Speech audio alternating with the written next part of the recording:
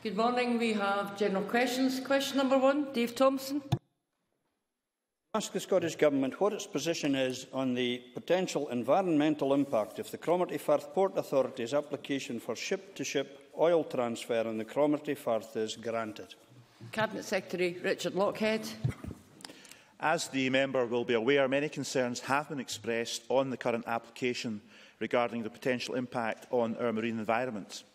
You may also be aware that a few years ago, when a similar application was made elsewhere in Scottish waters, the then Environment Minister, Paul Wheelhouse, wrote to the Secretary of State for Transport in the UK Government, seeking greater powers for the Scottish Government in this reserved matter. Unfortunately, that request was declined. However, I have written again this week to make the same request. I have also made it clear to the Secretary of State that the Scottish Government expects to be fully consulted prior to a final decision being taken on the application. Dave Thompson. Well, I'm, I'm pleased to hear that uh, the Cabinet Secretary has written again and that he's asked that the Scottish Government be fully consulted in relation to this matter before a decision is taken. There's huge concern in my constituency and neighbouring constituencies, that of Rob Gibson, uh, to the north of the, the Firth in relation to this matter. And I worry that the MCA will just follow a process and automatically grant a licence if the main sort of conditions are agreed to. And I wonder if the Cabinet Secretary could elaborate a wee bit more on what pressure he is prepared to put on the UK Government to devolve this power to us and deal with this matter. Cabinet Secretary. I can assure Dave Thompson and other members I will continue to apply that pressure At the very least, absolutely the Scottish Government should be involved uh, in the decision-making process. I can also inform the Chamber that our advisers, Scottish National Heritage, have submitted to the consultation as a statutory consultee, and I now have a copy of their submission. They indicate they disagree with the conclusion of the environmental statement about the residual likely significant impact and effect on European designated sites. They advise the Maritime and Coastguard Agency as a competent authority in this matter to carry out an appropriate assessment. They believe that mitigation can reduce but not eliminate the risks to the integrity of several designated interests. And they also say it's not possible to conclude no adverse effect on the site integrity in relation to the Moray Firth Special Area Conservation. Of course, the SAC is for bottlenose dolphins. John Finnie. Uh, thank you, President Officer. Uh, the Cabinet Secretary is aware that this consultation has been ongoing for months. There's great concern, as has been highlighted by my colleague Dave Thompson, yet there's been utter silence from the Cabinet Secretary for Rural Affairs. Would you wish to reflect on whether uh, it was wise to wait till after the consultation before expressing a view? Cabinet Secretary. Well, it's only right that the Cromarty first should carry out their consultation in what is about extending an existing activity. Uh, what I said publicly in the last few weeks is that we would await the advice from our own advisers, who in turn are statutory consultees for the application that went through the, the consultation. But now the consultation has closed, and now I'm aware of the views of Scottish Natural Heritage and other advisers. As you can imagine, I'm very concerned by what I'm learning, and I'm taking a very close interest in what now happens uh, in response to the consultation outcome. This is a reserved matter. Uh, and whilst, unlike the situation in the Fourth Ports a few years ago, where a different type of oil was being proposed and different uh, circumstances applied, there are still very real concerns in terms of the Cromarty Firth application and the potential impact on the marine environment. And that's why we will take a very close interest in this issue, make our views known both to the Cromarty Firth uh, Authority and also the UK Government. Question number two, Alex Ferguson. Thank you, Presiding Officer. To ask the Scottish Government what steps it is taking to address the reported shortage of GPs in rural areas. Cabinet Secretary Shona Robertson. Ministers are fully committed to supporting primary care, including GPs, and ensuring that all communities in Scotland, including remote and rural, receive safe, reliable and sustainable healthcare services. Over the next three years, the Scottish Government will invest £85 million as part of the Primary Care Fund. As part of this, £2.5 million will be invested to, in work to explore with key stakeholders the issues surrounding GP recruitment and retention, which can be particularly challenging in remote and rural areas. Alex Fergusson. I'm grateful for that response, but in Dumfries and Galloway there are currently 14 GP vacancies, soon to go up to 16 with two impending retirements. Only four out of 12 training scheme places were taken up this year. 25% of GPs are over 55 and they do not appear to be persuaded to continue working past retirement by the government's proposed contract. So why is it that since this government came to power, the proportion of the NHS budget allocated to GPs has reduced from 9.8% in 2005-06 to 7.4% in 2014-15? What actions will the government take now to address the decline within the NHS budget in order to make um, general practice more attractive to young doctors and encourage older practitioners to remain in practice. Cabinet Secretary. Well, under this government, the number of GPs employed in Scotland has risen by 7% to nearly 5,000. And of course, we recently announced an extra 100 extra uh, training places. But I accept that there is more to be done, and that's why, of course, we are in the midst of negotiating a new contract. So there's not a new contract there for GPs to reject or otherwise because we've only just began to negotiate it with the BMA. Hopefully the member will appreciate that. But this new model, if we get it right, a new contract has the potential to del deliver Sir Lewis Ritchie's vision for primary care, which is one based on a multidisciplinary team, everybody working to the top of their skill level, freeing up GPs to be able to spend more time with those more complex cases. That's what we want to deliver, and we will commit to more GPs to deliver that model. Um, of course, we've already said that, so I hope the member will appreciate there, that we are doing a whole range of things that are going to be important in delivering a very good uh, future for GPs in Scotland. And if I can just end by saying that uh, I would hope that through the junior doctor recruitment, uh, which of course is operating over the next month, that we will see a lot of junior doctors wanting to come to Scotland and wanting to train in general practice here in Scotland because it's a great opportunity for them. Question number three, Drew Smith. Thank you, President Officer. May I ask the Scottish Government whether it plans to review the personal foot care guidance? Minister Maureen Mott. The National Personal Foot Care Guidance was launched in September 2013 and we have no plans to review it at this time. Drew Smith.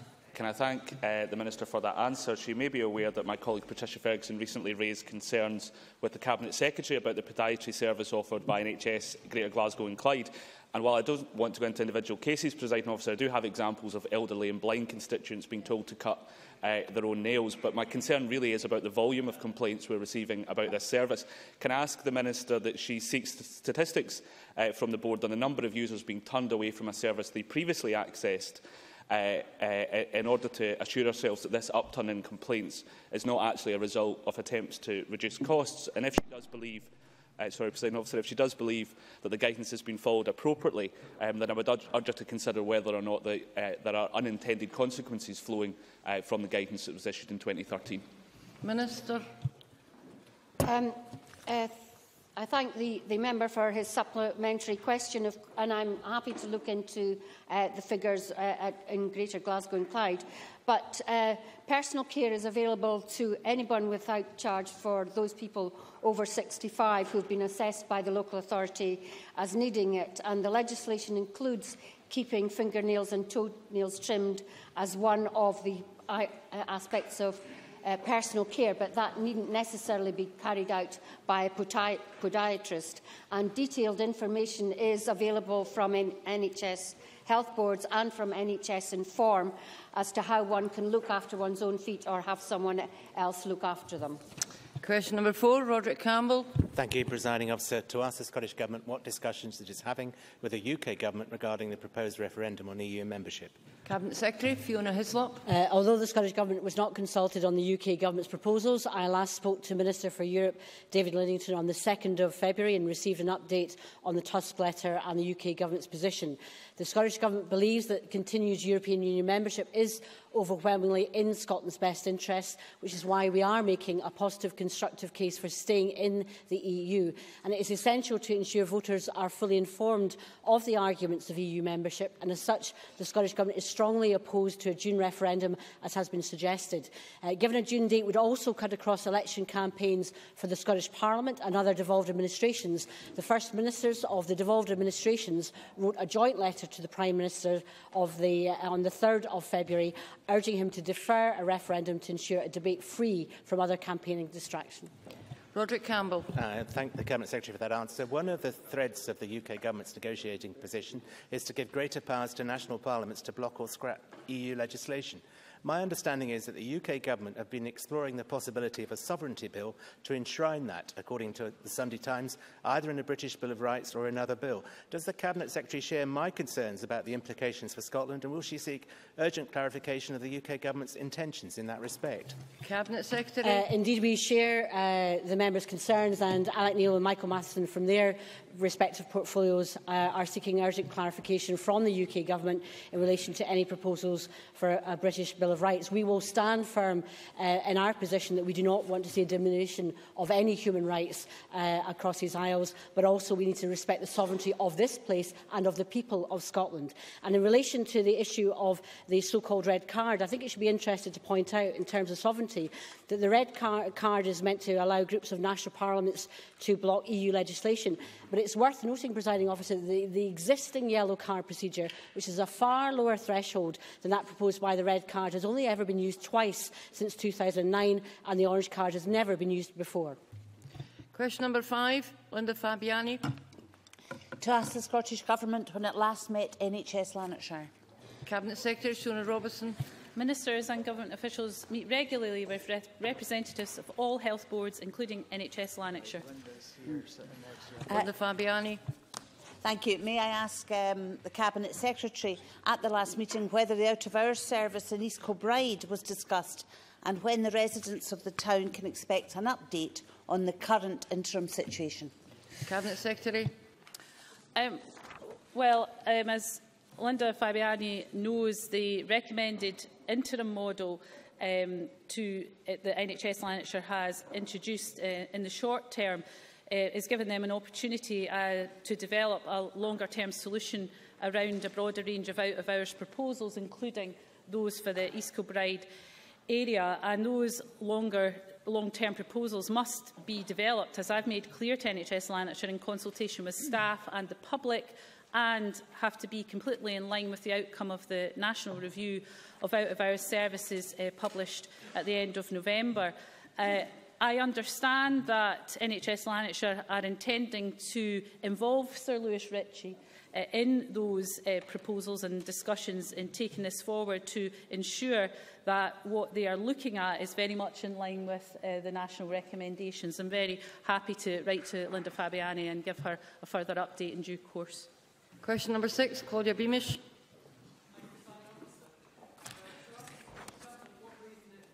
Reason it has reduced the climate change budget. Minister Aileen McLeod. Uh, within relevant portfolios, including support for renewable energy, energy efficiency, sustainable travel, waste reduction and natural carbon capture through forestry and peatland restoration. The reductions are predominantly in the energy budget and it is widely recognised that the UK Government is hampering the renewable energy sector and putting at risk millions of pounds of investment in the Scottish and UK economies. If the UK Government had kept its previous commitments, the viability of many projects would not now be in question and Scottish Government support would have been maintained.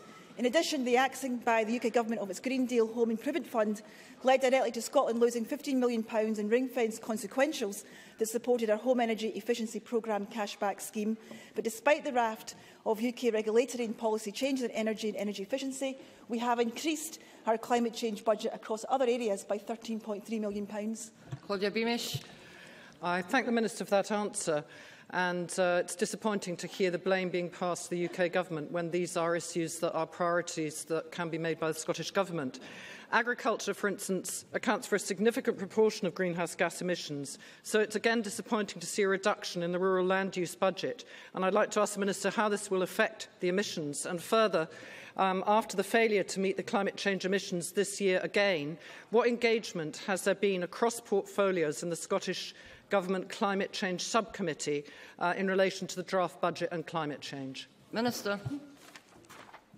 Well, can I say to uh, Claudia Beamish that challenge that we have is this Parliament doesn't have all the levers that it needs, not least in the crucial area of energy policy, where we need the UK Government to assist Scotland's drive to develop renewables and carbon capture and storage, not stymie it as they have done so uh, recently.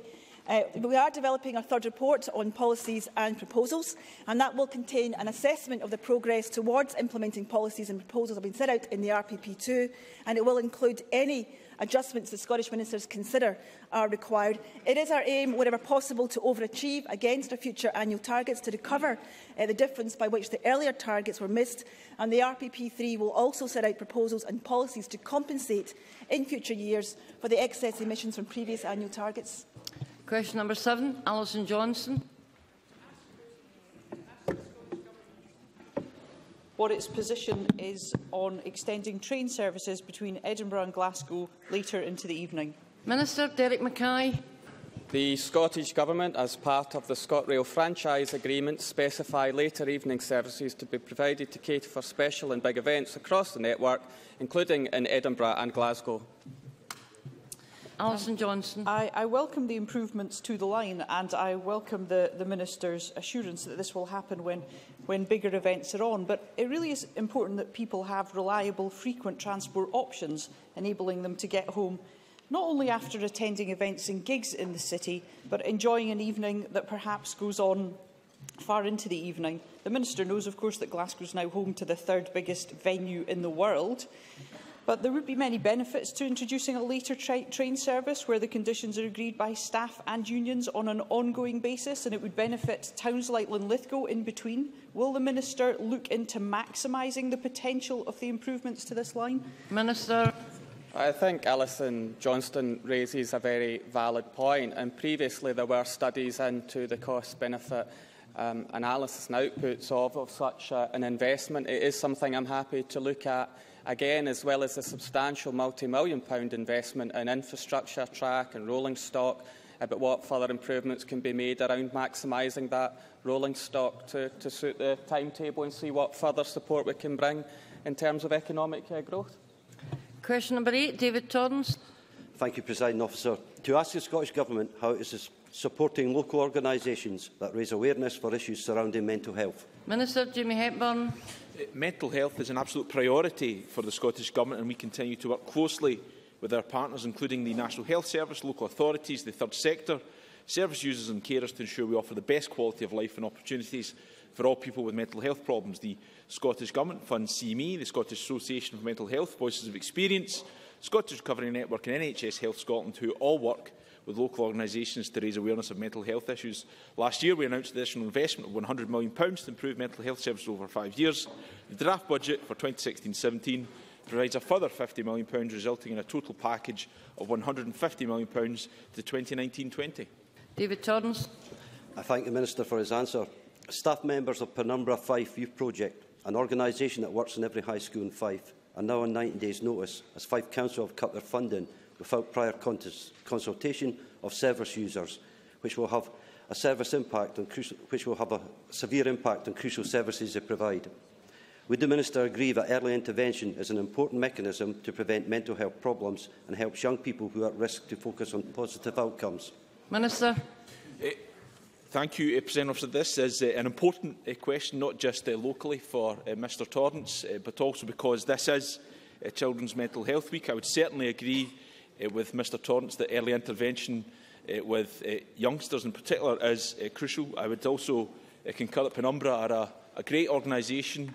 Uh, I'm aware of the situation. Fife Penumbra haven't approached me uh, directly on relation to this matter. As uh, Mr Torrance sets out, this is uh, a decision for uh, Fife Council, but I would uh, certainly expect uh, Fife Council to have considered the impact that any closure may have on young people and have plans in place to mitigate any adverse effects. Question 9, Gil Paterson. Uh, to ask the Scottish Government what impact the closure of the, the Glasgow Queen Street Tunnel will have on commuters in the Clydebank and Milngavie constituency. Minister Derek Mackay. The ScotRail Alliance have developed a temporary timetable for the Queen Street Tunnel closure which minimises the impact on all commuters and allows the vast majority of customers to continue to travel to and from Glasgow by train. Four services will continue to operate each hour from Milngavie to Glasgow and customers using Clydebank will experience a reduced service from four to two trains per hour. During the tunnel closure, there will be 12 trains each hour connecting the west of the city with Glasgow Queen Street low level and Glasgow Central low level. Gil Patterson. Can I thank the Minister for that, for that reply?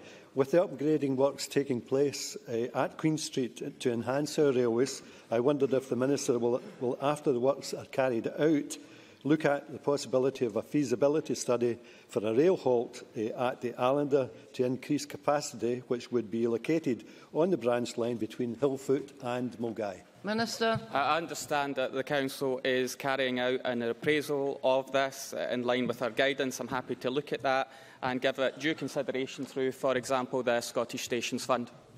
Thank you. Before we move to the next item of business, members will wish to join me in welcome to the gallery Her Excellency Päivi Luostarinen, the Ambassador of Finland to the United Kingdom.